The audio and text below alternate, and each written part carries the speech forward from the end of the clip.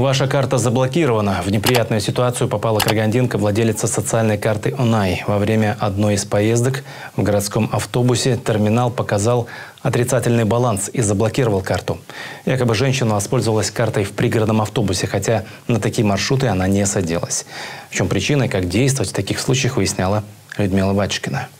У Ольги социальная карта. Ею можно пользоваться только на внутригородских маршрутах. Однако в 43-м автобусе карту заблокировала. В приложении ОНАЙ значилось, что до этого девушка ехала в 141-м маршруте, поэтому баланс на карте стал отрицательным – минус 80. Полдня третий автопарк и офис ОНАЙ перенаправляли Ольгу друг к другу, доведя до истерики. Она говорит, нет, это вина автопарка. Они поменяли маршрут, но не поменяли терминал. Заявку мы вашу приняли, в общем, 15 дней решим и вам эти 80 тенге вернутся. А, я говорю, ну получается, в течение 15 дней все, вот, кто использует эту социальную карту, будут сталкиваться с такой ситуацией. Дочка у меня как-то ехала на 40-м автобусе, пробила, в общем, карту, а оказалось, что 56-й автобус показывал.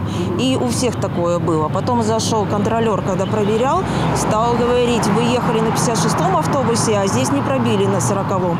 И, в общем, со всем автобусом там... Это... В третьем автопарке ответили, что действительно перестановки автобусов с маршрута на маршрут бывают, так обеспечивают регулярность движения. Но доступа к терминалам у парка нет. На камеру дать интервью отказались. Ситуацию прокомментировали в офисе ОНАЙ. Каждый терминал привязан к конкретному автобусу. Каждую ночь мы получаем э, информацию от перевозчиков, какая машина э, с каким госномером будет закреплена за тем или иным маршрутом.